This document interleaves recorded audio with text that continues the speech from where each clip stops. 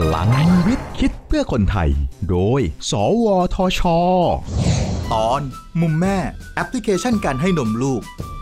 เดี๋ยวนี้คุณแม่ยุคใหม่ ให้ความสำคัญกับการเลี้ยงลูกด้วยนมแม่กันมากนะครับ เห็นต้องคอยจดบันทึกการให้นม แถมยังต้องคอยปั๊มนมตลอดเวลา ยิ่งจะต้องออกนอกบ้าน ก็ต้องหาที่ปั๊มนมหรือให้นมกันให้วุ่นเลย แต่เดี๋ยวนี้ไม่วุ่นแล้วครับ เพราะตอนนี้นักวิจัยไทยได้พัฒนาแอปพลิเคชัน มุมแม่ ตัวช่วยเรื่องการให้นมแม่เพื่อสุขภาพของลูกน้อยมาเรียบร้อยแล้วครับ มุมแม่เป็นแอปพลิเคชันสำหรับบันทึกข้อมูลการให้นมแม่บนสมาร์ทโฟน โดยสามารถจดบันทึกการให้นมลูกได้ 2 แบบ ทั้งแบบจากเต้านม และจากแบบขวดนม ดูสถิติการให้นมลูกย้อนหลัง และสามารถดูสรุปปริมาณน้ำนมที่ให้ลูกเป็นรายวัน รายสัปดาห์ รายเดือน และสามารถบันทึกข้อมูลสำหรับลูกหลายคน อีกทั้งผู้ใช้งาน ยังเชื่อมโยงกับข้อมูลสุขภาพอื่นๆ ตลอดช่วงชีวิตได้ผ่านระบบล็อกอินแอปพลิเคชันมุมแม่ ยังมีข้อมูลห้องให้นมแม่ตามห้างสรรพสินค้า โรงพยาบาล หรือสถานที่อื่น ๆ มาเป็นตัวช่วยให้คุณพ่อคุณแม่ยามออกนอกบ้านได้ โดยเข้าไปดูรายละเอียดห้องนมแม่ สิ่งอำนวยความสะดวก และสถานที่ตั้งของห้องได้ทันที นอกจากนี้ผู้ใช้งานยังแชร์ข้อมูลห้องให้นมแม่ที่ยังไม่มีข้อมูลผ่านเมนู